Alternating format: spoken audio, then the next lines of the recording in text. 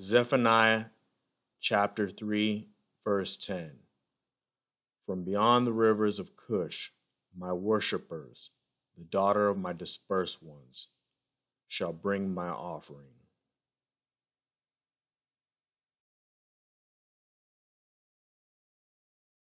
Who is a Jew? The term Jew is a contraction of the name Judean. Judean, Judean, Judea, Judah, and Jew. According to Josephus, the Judeans were a nation of western Ethiopians. The Yahudim never called themselves Jews. This was a term foreigners applied to them because they believed that they were of Ethiopian origin.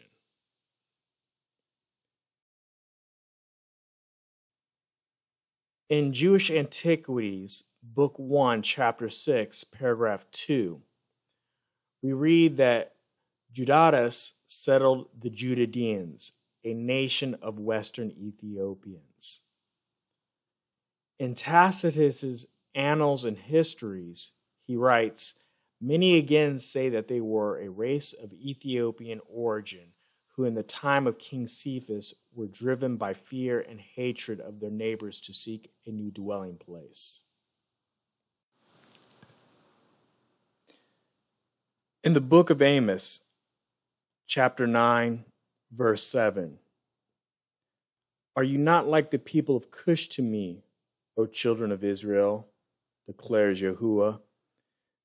Did I not bring you, Israel, from the land of Mitzrayim? and the Philistines from Caphtor, and Aram from Kir.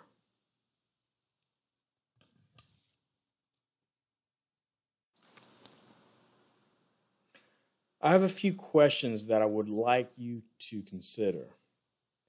Have you ever wondered why North Africa, including the Horn of Africa, is classified as white?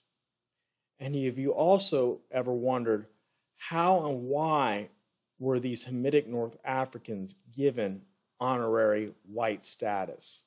According to the United States Census Bureau, under the category of race, they define a white person as a person having origins in any of the original peoples of Europe, the Middle East, or North Africa. In Jared Diamond's book, Guns, Germs, and Steel the Fates of Human Societies. On page 378, he writes Whites, ranging from Egyptians and Libyans to Moroccans, occupy Africa's north coastal zone and the northern Sahara. Those North Africans would hardly be confused with blue eyed, blond haired Swedes, but most lay people would still call them whites because they have lighter skin and straighter hair than peoples to the south termed blacks. I call this form of deception verbal alchemy because it's scholars, historians, um, people in religious institutions that seek to change these black people into white people through the stroke of a pen, knowing that the ancient Israelites were always compared to looking like the North Africans, the Egyptians, the Canaanites, the, uh, the Ethiopians, the Cushites. And so, if you can change the identity of these North Africans, then you can change the identity of the ancient Hebrews, who have always been a black people. Western Christianity has tried to avoid answering the question what did the ancient Hebrews look like? Because in answering this question, you also answer the question of what the Messiah looked like. Many are quick to say that it does not matter, assuming the position of spiritual and moral high ground, while ignoring the fact that the false image of an Aryan Jesus has been promoted to the world as the image of the Messiah. While Christians may admit that the Messiah was not white, and that his name was not Jesus, many are quick to say that he definitely was not black.